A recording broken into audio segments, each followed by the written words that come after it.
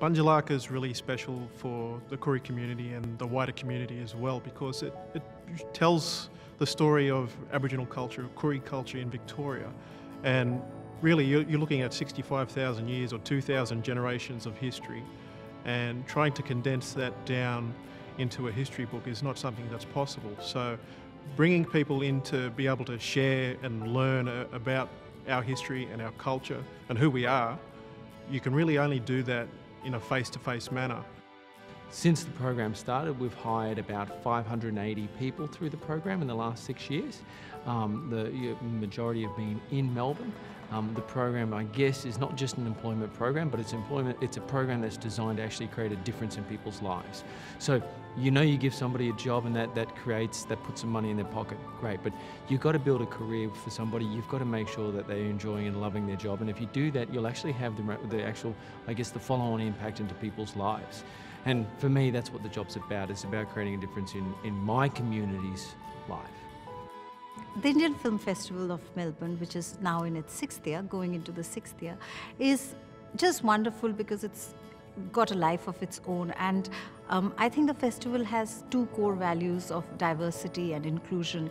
And everybody in the team believes in that and that's what we try to do. All the guests we invite all the programs we do all the films that we pro program in the uh, festival they all follow that one principle. And because of that i think we've had a huge fan following in a very short span of time. As a doctor working in the community and working within a tertiary hospital um, we're currently you know, we see patients who come in who I guess have no idea as to how to access all the you know the brilliant services that exist, and so the Waterwell project really kind of bridges that gap.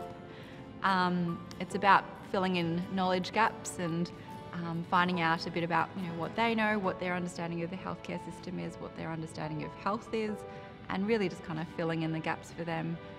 It's a partnership between the North Melbourne Football Club the Scanlon Foundation, the City of Melbourne and the Australian Multicultural Foundation and we all work together to provide uh, a range of programs and opportunities for young people in the City of Melbourne from refugee and multicultural backgrounds.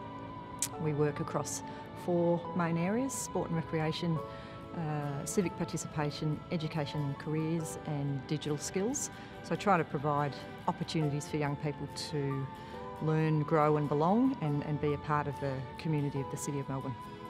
A society that receives and welcomes people when they first arrive and acknowledges their inherent cultures, I think is a, is a sensitive culture, it's a sensitive society.